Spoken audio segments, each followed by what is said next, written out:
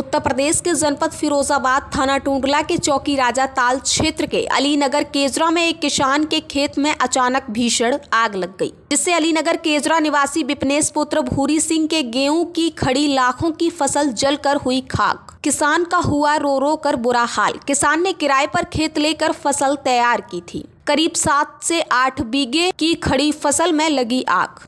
आग लगने का कारण अभी पता नहीं चल पाया है।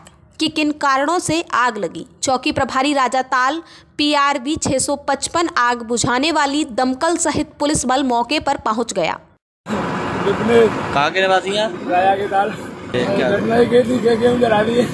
कितने बीघा थे ये? ये कारण पता है किस तरह से आग लगी इसमें? मुझे नहीं बताया